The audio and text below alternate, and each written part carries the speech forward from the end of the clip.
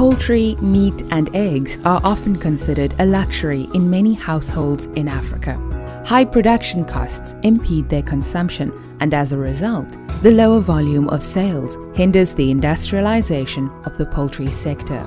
But today, the Regional Center of Excellence on Poultry Sciences, CERSA, provides hope that this can change thanks to its research and training activities, which accompany efforts to develop the sector.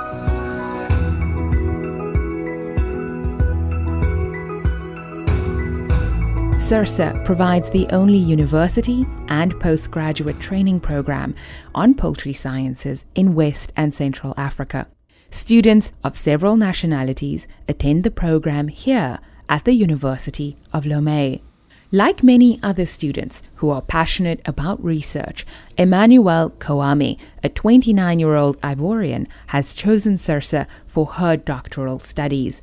Mon arrivée au CERSA n'est pas du tout un hasard. C'est toujours dans le but de pouvoir me perfectionner dans le domaine de la recherche en aviculture que j'ai opté pour ce centre afin de pouvoir apporter quelque chose de nouveau dans le domaine des sciences aviaires en Afrique. Emmanuel believes strongly that scientific research can help modernize the poultry sector. Her Chadian colleague, Dasidi, also sees this as a vital need for Africa.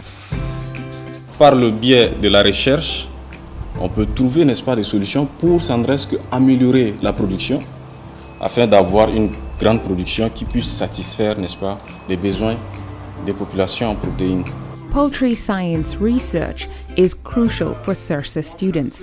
Therefore, the quality of the professors is critical. The diversity of professors and trainers allows students the opportunity to open themselves to the world around them. La formation au CERSA est pertinente en ce sens que nous avons d'éminents professeurs qui viennent de partout, d'Afrique francophone, anglophone, de la France, de la Belgique et même des Pays-Bas. Et donc avec eux, nous faisons des échanges. Comment est-ce qu'ils font des recherches dans leur université?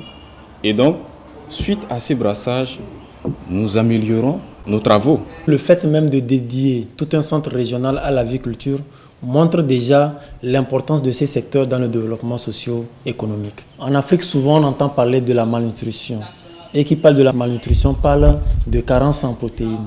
Donc l'aviculture serait donc euh, cette réponse à la malnutrition en ce sens qu'elle permettra de produire la protéine nécessaire et au même moment euh, créer de l'emploi et donc créer de la richesse. Creating wealth in Africa through the development of avian sciences is an initiative of the University of Lomé, supported and financed by the World Bank. One way to stimulate and encourage the new impetus in the sector has been the first hand exchanges in Lomé between CERS's actors and students with Maktar Diop, the World Bank's Vice President for Africa. Il est clair que ce centre est pour nous un centre très très important. Chez nous, souvent la viande et le poulet sont des produits de luxe. Ça ne devrait pas être le cas.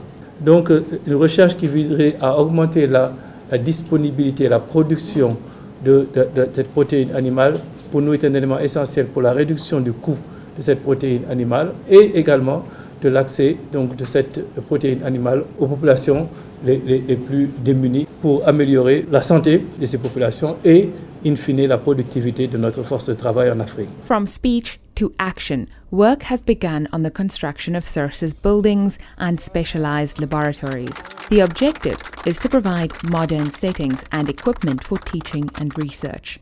Work is also in progress for the establishment of a new experimental unit, which will be operational by the start of the 2017 2018 academic year.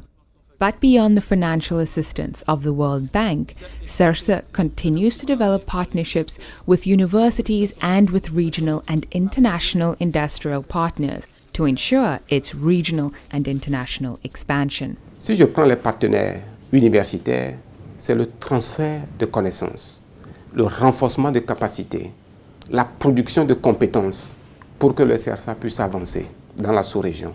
Le partenariat industriel va générer des ressources pour le CRSA et la génération de ces revenus va rentrer dans, le, la dynamique de la pérennisation de la durabilité du CRSA lui-même. On ne fait pas le CRSA pour aujourd'hui, mais on fait CERSA pour demain. CERSA relies on these partnerships to improve the development of poultry farming in Africa. But it's also necessary to find ways to reduce the production costs and for promoting poultry product processing.